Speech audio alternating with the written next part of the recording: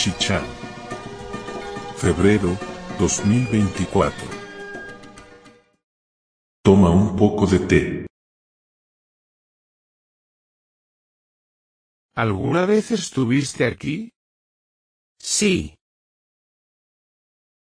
Ve y sírvete un té. Sí, señor. ¿Estuviste antes aquí? Es la primera vez que vengo. Ve y sírvete un té. Sí, señor. ¿Qué significa esto? Les date tanto si vinieron antes como si no estuvieron nunca.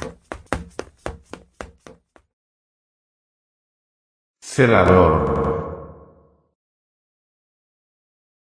Ve y sírvete un té.